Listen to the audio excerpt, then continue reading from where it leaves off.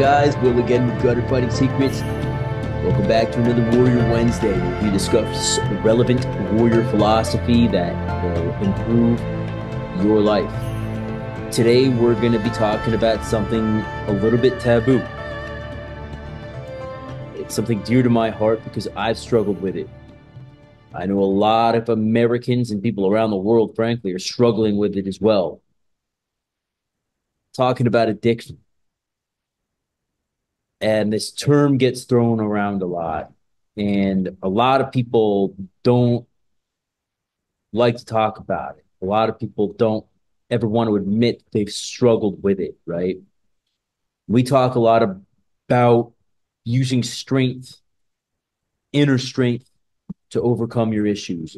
We're going to talk about that now. We're going to talk about using inner strength to overcome addictions, negative habits, whatever you want to call it, right? It doesn't have to be an addiction to drugs or alcohol or food or anything else, right?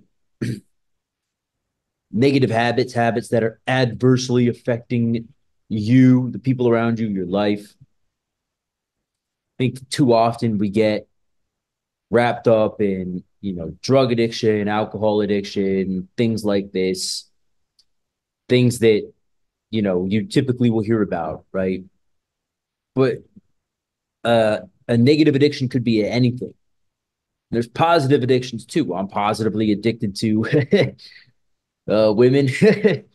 no, but seriously, for real, I'm I'm addicted to working out. Like I think a lot of you guys are as well. I'm addicted to jiu-jitsu. I'm addicted to feeling good, like getting up, making money, all of this stuff. That that's a good addiction, right? So it's like addiction isn't inherently wrong, it's not inherently bad. But when it starts to negatively affect your life or the people around you, that's when you got to check yourself. That's when it gets bad, right? And sometimes we don't want to admit to ourselves or we can't sometimes even admit to ourselves, hey, you know what? What I'm doing here is like fucked up. It's not, it's not good. We rationalize it a lot, right? Like, that's what I used to do, you know, with a lot of my issues is rationalize them. Oh, ah, it's not that bad, or like it's not really affecting anybody else. So it's like no worries or whatever, a myriad of excuses. But when it boils down to it, if it's not making you better, if it's not making you stronger, healthier, wiser, richer, then probably probably something you could do without, very least. Um, there's a lot of people out there now struggling with drug and alcohol addiction. And um, it's something that I've struggled with. I won't lie. I've overcome it. Um, and I'm going to leave it at that because I want to put my own personal business out there too, too much. But I understand it. Um, and more importantly, what we're going to talk about is beating that because you can do it. You can absolutely do that. But you have to want it. You have to want to do it. You know, I I just gonna say it. I've been sober for a, a, a long time now. I don't drink. I don't do drugs. I still do these fucking things. I eat them like candy, but compared to where I was years and years ago, that ain't nothing. Um, and people see that. I go out a lot, talk to a lot of people, I meet a lot of people, and I go out to bars a lot. So I meet people who drink. And I've had several people, several, several people over the years come up to me and say, you know, Will, you know, you never knew this, but I quit drinking because of you. And I'm like, what the, what are you talking about? And they say, you know, we look, we we watch you dancing with girls and carrying on like a freaking buffoon, and you've never even had a drop of liquor. Like we don't, we wanted to be able to do that too. We want to be able to talk to people and not worry about it. But we felt like we need that social lubrication. We saw you doing it, and it inspired us. And I'm not trying to like blow myself up here, you know. I'm not trying to like make myself look better by saying that. It's true. People come up to me and they tell me, and I'm always so glad when they tell me that and they've stopped drinking or they've stopped using drugs. And it's even better because I never even was trying to help them, right? Like sometimes I think that the way that we help people is to lead and and live by example.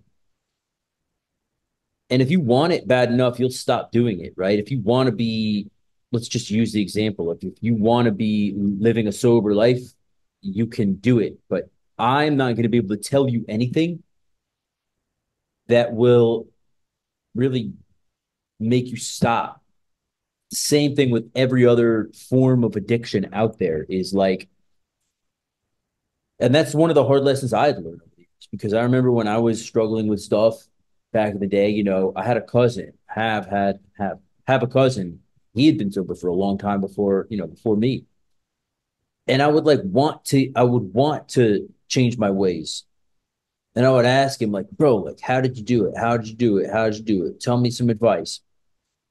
And he'd always be like, bro, you got to figure it out for yourself, man. Like, you got to, you got to just do it, man. Um, if you want it bad enough and when you want it bad enough, you'll do it. And it wasn't until I did that I did, right?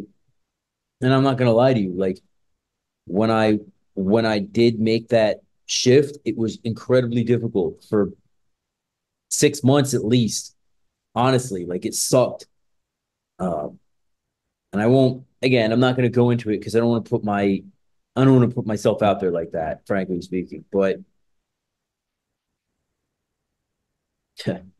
it was a it was a trip, man. It was a hell of a time going through it. But I remember vaguely, I remember, you know, um, when I was in the process of cleaning myself up, I would just tell myself, look, there's no other option. If you want this, you're never going to do it if you don't just do it. I got through it. You know, they have a saying, and like, I, I never really was uh, a member of AA or anything like that, but I've, I've been to meetings before. And, you know, I think they have a saying, it's one day at a time or some shit like that, right? It's true.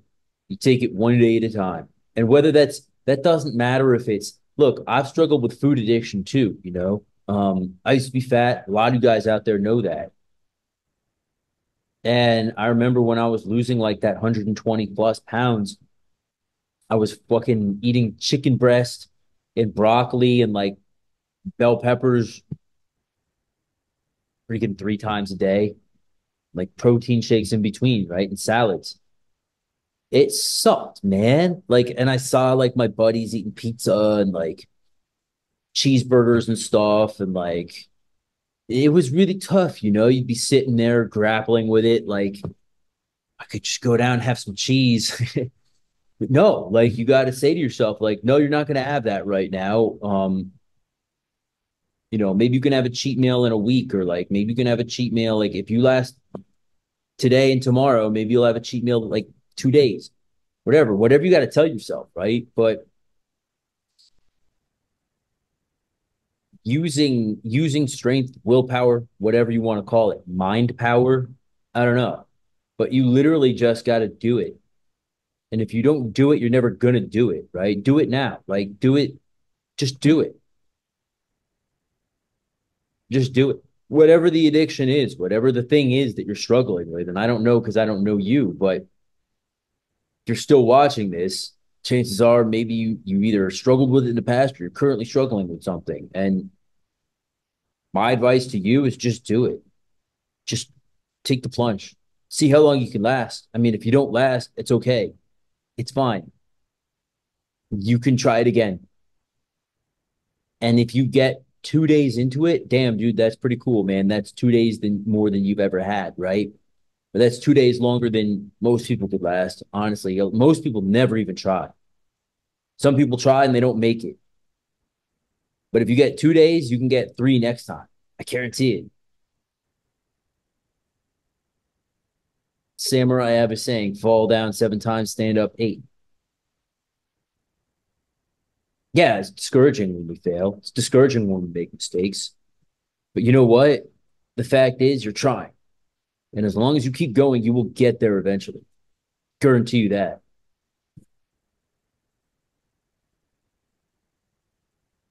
some things are harder to quit than others. Some things have physical withdrawals, some things don't. They're just mental. Some things have both. Um, but how bad do you want it? I'll tell you this, I've never I never thought that I would live this long and I never thought that I would have a happy life. And since I've been sober, it's been amazing, frankly speaking. And I think it was probably maybe like a year, eight months to a year after I really finally like sober, sober, sober, my life shifted like right away. It was incredible, in, incredible in every way. And I'm not guaranteeing that like your life's going to be like a story if you are able to, you know, conquer an addiction, but I guarantee you one thing, it's going to be a lot better when you overcome whatever you're struggling with. If you have a food addiction and you're fat, once you get skinny, your life is going to drastically improve. I can guarantee you that with 100% certainty. You've got a drug or an alcohol addiction and you stop doing that shit and you're like, you don't do drugs or alcohol anymore, your life is going to drastically improve. I guarantee you that with 100% certainty. Whether or not it's going to be like instant success for you, who the fuck knows? How hard are you willing to work? But I guarantee you it will drastically improve either way, just from doing that one thing. Guarantee it. I guarantee it. It's not like you're gonna. It's not like you're gonna conquer this this whatever you is is you're struggling with, then be like, man, I, you know, I really don't like it this way. I'd rather go back to the other way. Very rarely does that happen. I mean, yes, people like go back to it and return to it. I actually used to have nightmares about that. I'll be honest with you. For years afterwards, for years afterwards, after I'd stopped, you know, doing whatever I was doing, I had nightmares and there I would like go back and like keep doing like doing it again. And then I'd wake up and be like, shit, thank gosh I didn't do that. But you know what? Even if you do, it's like whatever. Did it once, you can kick it twice. It'll be easier next time. I got a buddy right now who he's dealing with that. And he he came up to me frankly and he was like, I'm gonna be honest with you, bro. Like I'm I relapsed and I'm this is what I'm doing right now. I told him, listen, man, I ain't faulting you for it, bro. Like you do you, man. Like you you enjoy your bender while it lasts, bro, because eventually something's gonna, you know, something's gotta give, right? And either you're going to sober up or whatever. Said, yeah, yeah, I know, I know, I know.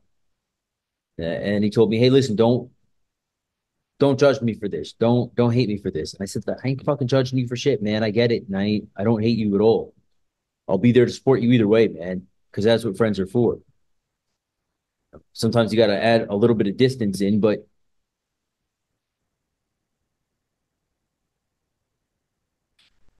I guarantee you, you can do it. And it's all about how much strength and willpower do you have. You can summon that up. You can do it for yourself.